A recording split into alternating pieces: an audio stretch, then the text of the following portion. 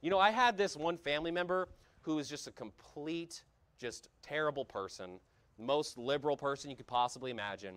He married this woman, and upon condition of him marrying this woman, he forced her to tie her tubes before they were married.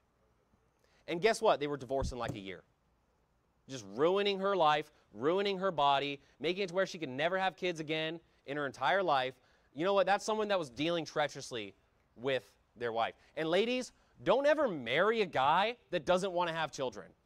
That's a terrible idea because chances are you're dealing with someone who's very selfish, with someone who's very immature, with someone that only cares about himself. Look, it's one thing if you can't have kids without fault of your own, you know, your body just isn't fertile, whatever. That's a different story. But when your husband is making you not have children, you know what? That's someone that's dealing treacherous with you.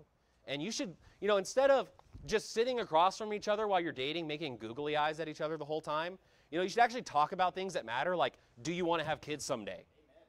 And not be an idiot and just tie the knot with someone and be like, oh, wow, my husband doesn't want to have any kids. It's like, you're screwed. Yep. You should have talked about those things when you were dating.